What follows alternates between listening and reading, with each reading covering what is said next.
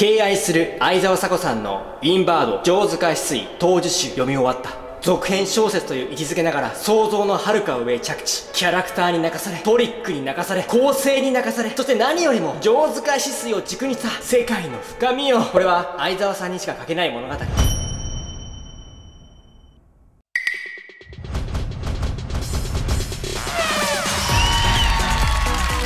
というストーリーでした。腰買いしていいかと。犯人が分かっているミステリー小説って面白いのと仕組まれております。カメラ OK 音 OK 役者 OK 用意スタート。はいどうも皆さんこんにちは。監督ラボの監督です。はいというわけで今回はですねこちら。はい。インバード。上塚翡翠当時集。こちらをネタバレなしでご紹介していきたいと思います。このミステリーがすごい。1位本格ミステリーベスト101位 SR の回。ミステリーベスト10 1位、2019年ベストブック、2020年本屋大賞ノミネート、など、あらゆる賞を総なめした前作、メディウム、霊媒探偵、上塚止水、ミステリー部門5冠を達成した化け物的小説の続編、インバート、上塚止水、当時集、こちらが2021年7月7日に発売されました。ツイッター界隈では、シャープ、翡翠ちゃんが可愛いが賑わっておりました。監督もその一人です。え今回紹介する小説は、続編小説。前作は、死者の魂を自分に乗り移すことができできる、霊媒探偵、上塚翡翠、推理作家である光月とコンビを組み、次々と難事件を解決していく、というストーリーでした。すべてが伏線のキャッチコピーに偽りなし、してやられましたよ。こちらがですね、メディウム、霊媒探偵、上塚翡翠、すべてが伏線。メディウムに、監督はね、作家、相沢佐子さんがすごい出してファンだったんで買いました。で、あとね、この表紙ね、表紙買いしていいかと思います。ちなみにこちら、この続編小説を買ったらですね、こういった紙袋に入れてもらったものです。この絵美麗なイラストこちらに本を入れてもらいました。上塚翡翠シリーズですね、今回で2作目が発売されたんですが、このシリーズを語るには省くことができない作家、相沢佐子さんについてご紹介していきたいと思います。相沢佐子、男性、1983年埼玉県生まれ、2009年午前0時のサンドリオンで第19回鮎川哲也賞を受賞してデビュー。繊細な筆致で登場人物たちの心情を描き、ミステリー、青春小説、ライトノベルなど多ジャンルをまたいで活躍。そして、小説の神様は読書家たちの心を震わせる青春小説として絶大な支持を受け、実写映画化しました。はい。この小説の神様の実写版でちょっと言いたいことがあります。ちょっと違うんだよね。正直言います。ファンの方すいません。スポンサーのね、推しが強くてね、本当に本の書き手のね、心情がちゃんとつかみきれてなかったので、個人的に改めてアニメ化をして、しっかりと書き手の心情を描いてほしい。で、その続編小説もありまして、今ですね、ちょっと上巻今貸してないんですが、はい、こちら下巻です。小説が好きですか？はい。この本めちゃくちゃ影響を受けましたよ。自分が好きになれる作品と巡り合うのって恋をするみたいな奇跡だよ。はい。というわけでですね、もうぜひ読んでほしいと思います。特にですね、物語生み出す人には、ぐっさぐっさぐっさぐっさ刺さる言葉がたくさん詰まっております。背中をトンと押される作品となっておりますので、小説の神様、ぜひ見てください。実写版じゃない。え、そしてですね、あと、相沢佐子さんをですね、語るにはもう一個重要な要素があります。マジシャン。マジックですね。マジックって言ったら、マジシャン側とターゲット、二人の関係性でマジシャンのマジックに翻弄される感じメディウム、インバード、両方ともですね、手の中で転がされたのは自分だけじゃないはずです。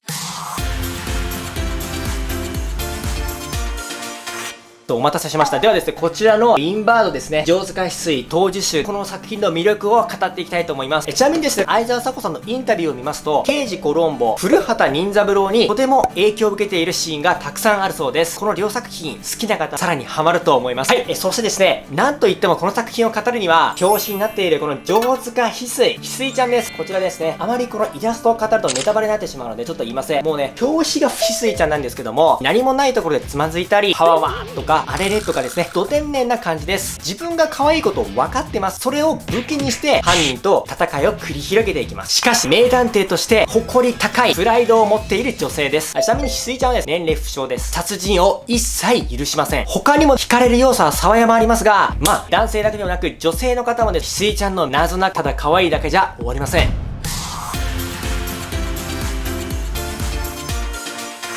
こちらのインバード、今ですね、3つの作品が収録されております。前作同様大きな仕掛け、トニックが仕組まれております。えなおですね、1作目のメディウムの事件もですね、かなり関わってきますので、まずはこのメディウムを読んで、その後に続編小説、インバードを見ていただくのが一番ベストな読み方だと思います。あまり小説を読めない方、この1作目かなり分厚いんですよ。読めないなって方はですね、なんとオーディオブック化されております。そして演じるのが古賀葵さんです。かぐや様は小倉スタイのかぐや役、そして鬼滅の刃、鎌戸家の一番下の六男、ドクターを演じております。概要欄にオーディオブックの6分ぐらいかな、収録している動画がありますので、興味がある方はぜひ見てください。はい、で、今度ですね、続編小説、インバード、翡翠ちゃんと読者が最初から犯人が分かっている状態で物語が展開していきます。はい。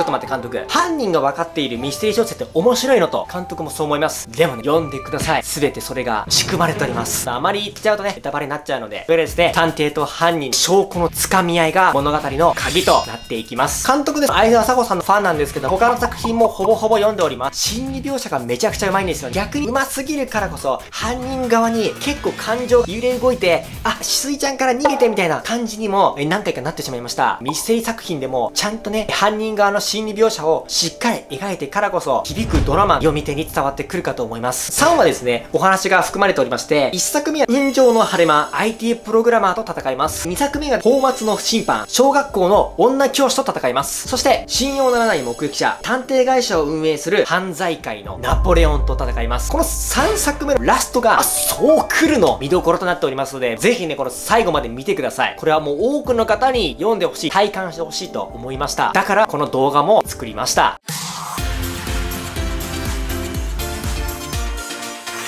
はい。ということでですね、様々な見方ができる、上手化水作品、作2作目、読み終われば拍手喝采、間違いなしのエンターテイメントミステリー作品です。1作目ではですね、続編は絶対できない終わり方をしたわけなんですけども、この2作目、まさかね、こういう形で続編を出してくるとは思いもよりませんでした。こんな感じなんで、おそらく3作品目も出してくるのではないかと、え監督は睨んでおります。このシリーズ含め、枝迫さん新作楽しみにしてますので、よろしくお願いします。このチャンネルではですね、監督が好きな作品、これは本当に心の底から、ぜひ皆さんに共有したいというもののを紹介しております。ちょっとでもですね、この動画、心響いたなと思った方は、この後にもですね、いろんな作品、いろんなおすすめ商品をですね、どんどんどんどん紹介していければなと思っておりますので、えぜひともよろしくお願いいたします。では、また次の動画で会いましょう。いきますよ、いきますよ。本格ミステリー、本格ミステリーベスト、SR の回、ミステリーベスト、ミステリーベスト、インバート、インバート、推理作家で、推理作家で、すべてが、うん、すべて、すべてが伏線、すべてが。最後の話メディウムのメディウムにメディウムから読んでほしい体感正しさな それを武器にしています。老若にゃん老若にゃん老若にゃんえ老ここじゃあ逆こっちかという形でしょうかね